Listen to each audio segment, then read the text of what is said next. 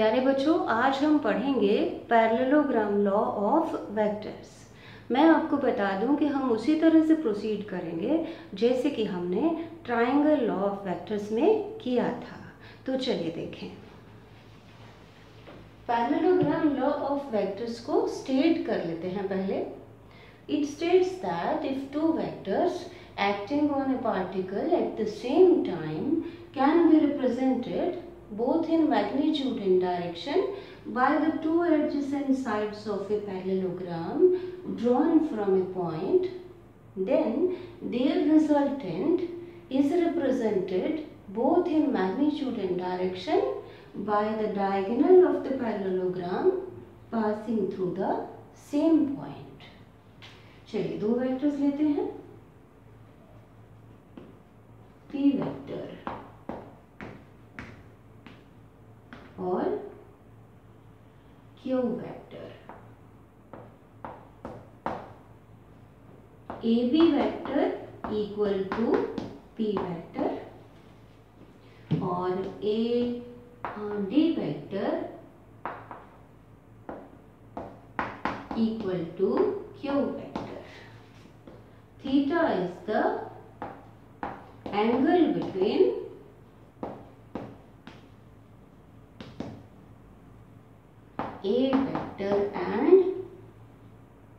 p vector and uh, q vector. अब ये दो वेक्टर्स को p वेक्टर और q को हमने रिप्रेजेंट किया है साइड्स ए बी और साइड्स ए बी से। Drawn from this point A तो इनका रिजल्टेंट क्या होगा? आइए पैरेललोग्राम को कंप्लीट कर लेते हैं पहले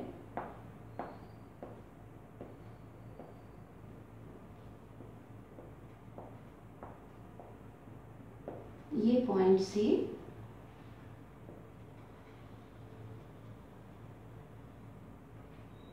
ये resultant resultant R is equal to P vector plus Q vector इस R का मैग्नीट्यूड और डायरेक्शन हम निकालेंगे वैल्यू निकालेंगे आर की.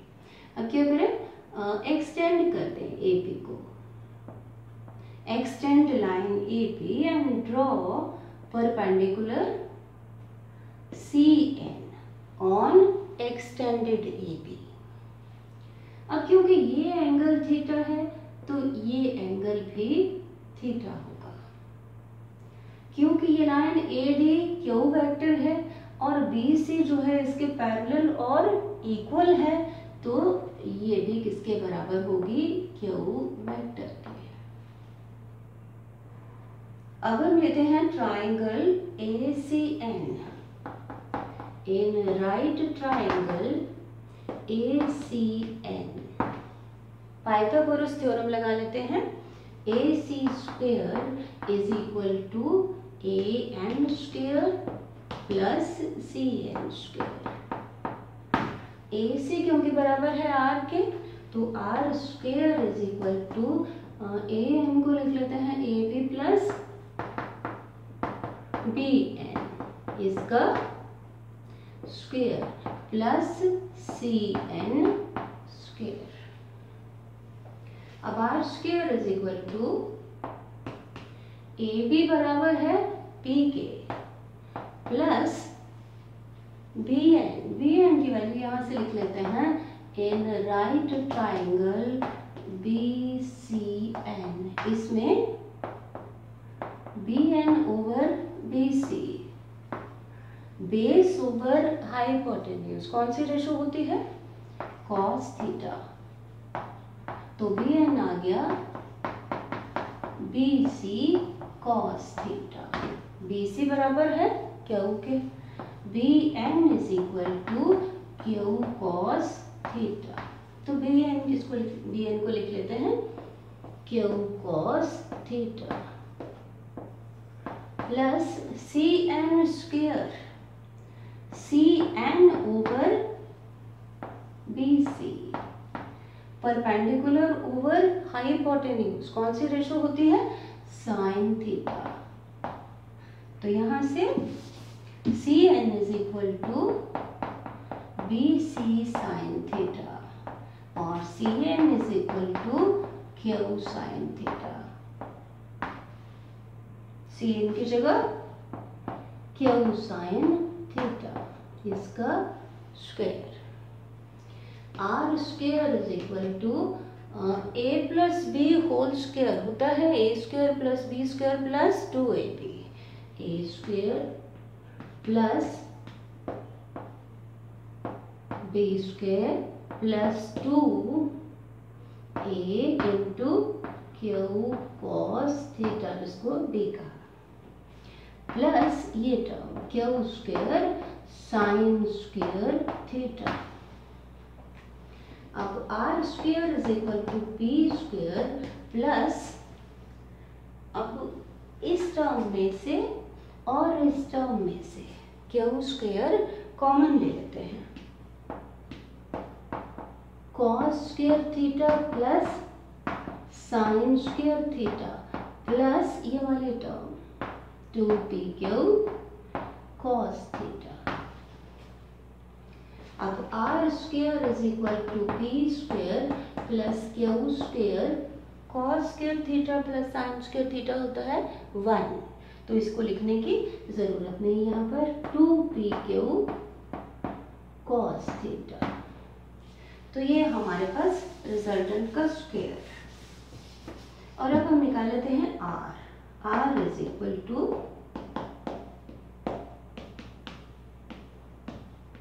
P square plus Q square plus two P Q cos theta इसका स्क्वायर रूट ये हमारे पास मैग्नीट्यूड आ गया रिजल्टेंट का।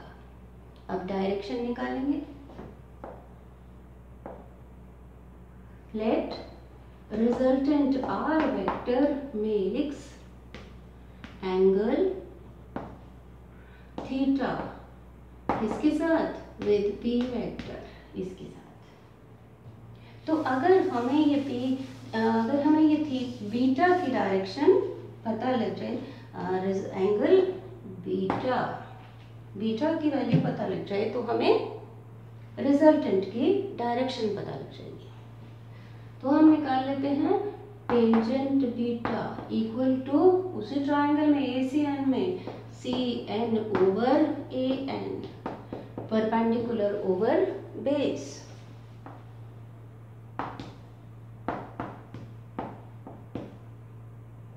A N को लिखेंगे A B plus B N value substitute कर दें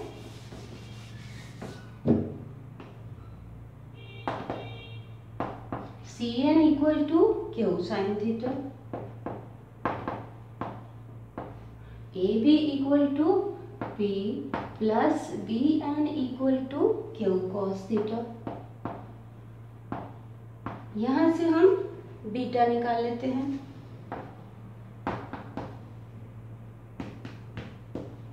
Q sine theta over P plus Q cos theta चलिए अब स्पेशल केसेस डिस्कस करते हैं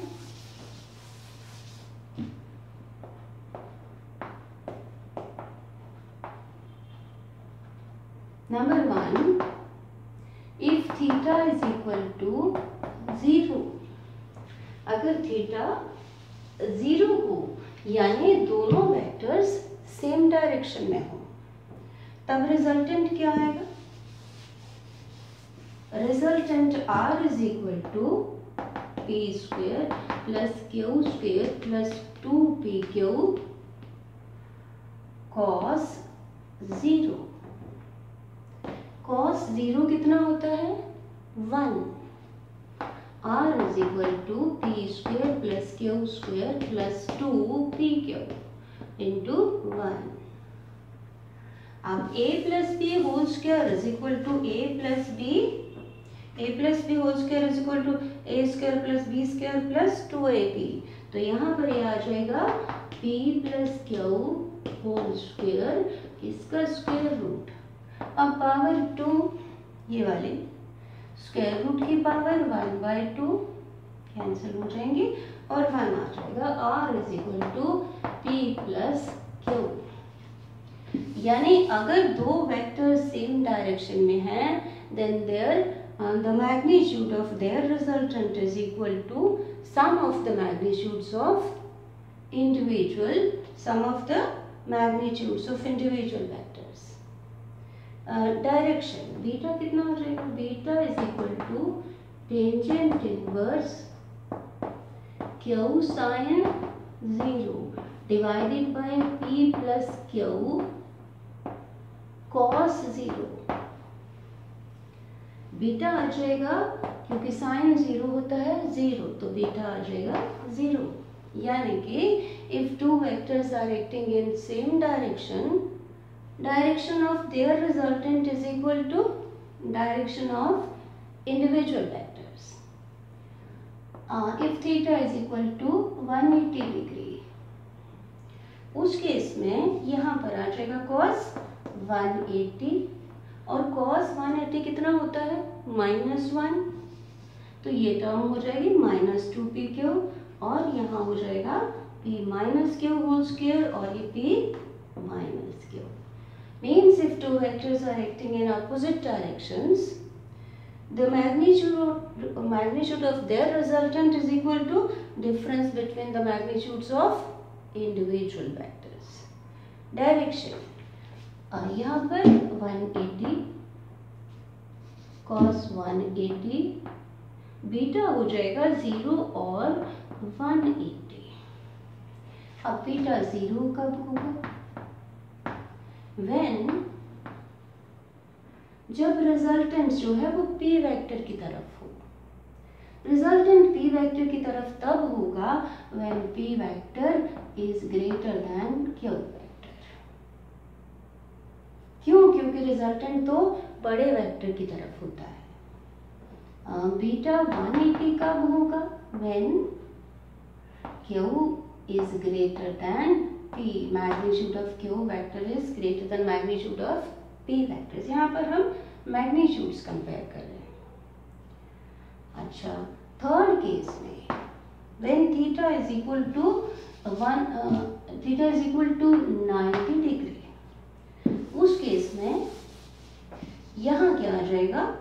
90 और cos 90 होता है ज़ीरो cos 90 ज़ीरो तो ये वाले सारी टर्म ज़ीरो हो जाएगी।